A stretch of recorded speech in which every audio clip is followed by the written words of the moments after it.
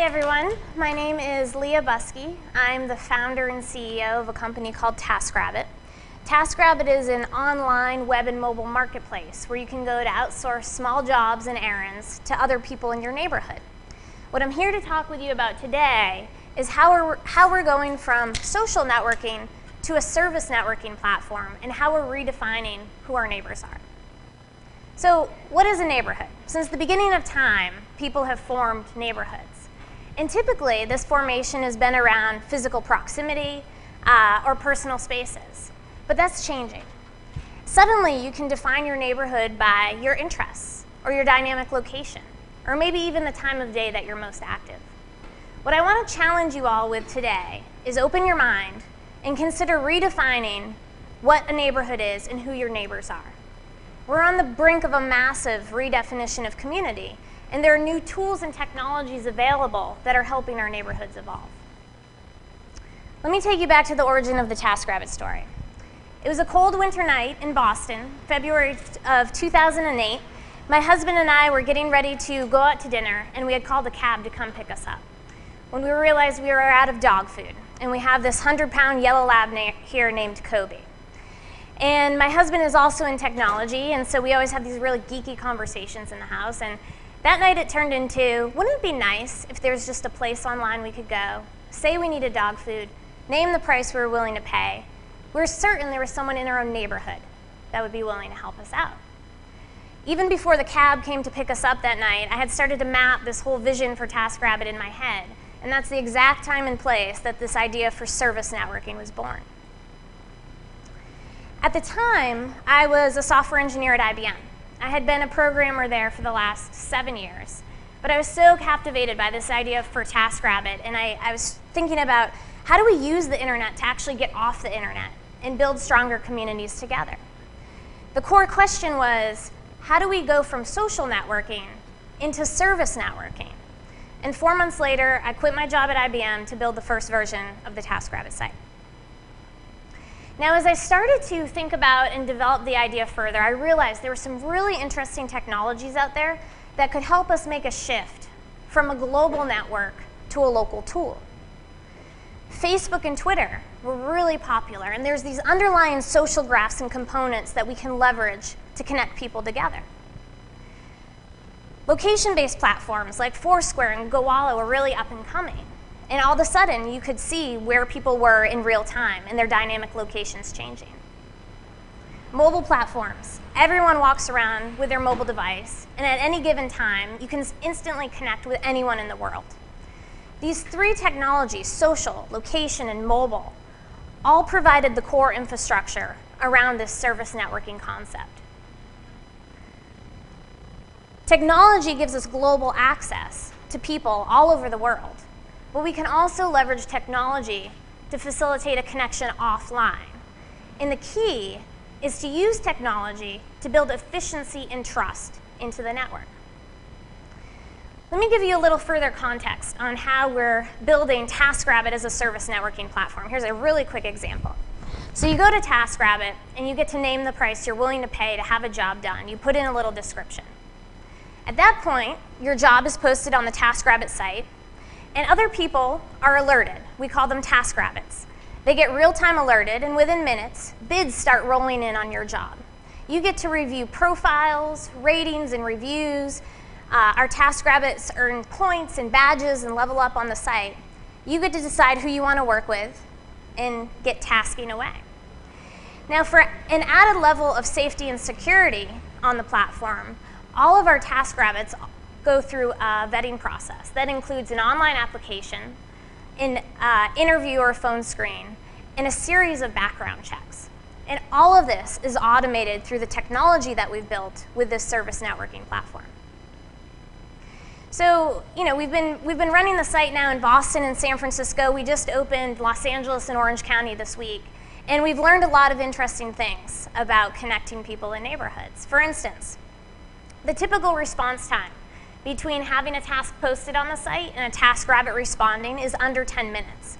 And we can do this so quickly because we're using dynamic locations in mobile alerting platforms to get people the information they need and then allow them with their mobile device to upload a bid. Some of our top TaskRabbits have cashed out up to $5,000 a month just doing TaskRabbit tasks. And this is so exciting for me uh, as the founder because it really is enabling this platform for micro entrepreneurship. These task rabbits have become their own entrepreneurs. They're saying what their skills are, how much they want to get paid and earned, and they have special, you know, specialties that they can share with other people in their neighborhoods. So we've really created this platform that enables micro entrepreneurship. When I started this company back in Boston in 2008, uh, I thought, you know, Boston's a great college town. I'm going to get all kinds of college students involved and they're going to want to run these tasks. I was wrong from the very beginning. There's such a wide variety of people that want to be involved as TaskRabbits. We have some college students, we have stay-at-home moms that are out running their own errands anyway and don't mind picking things up for people. We have young professionals that love the idea of just kind of supplementing their um, incomes nights and weekends. And then we have this amazing group of retirees that have all these experiences and skills to share. And their motivation is different. They love the idea that they can connect with someone else in their neighborhood and they really feel the value of helping someone else out. In fact, our 60 plus demo of task TaskRabbits on the site actually makes up a very significant portion of the overall network. So, can anyone guess what the most popular task posted might be? What was this right here? Dry cleaning's pretty popular. Beer, eh, sort of. Anyone else? Moving is very popular. Let me give you a hint though. It's uh, has to do. We've all been there, and we've all put it together wrong at least once.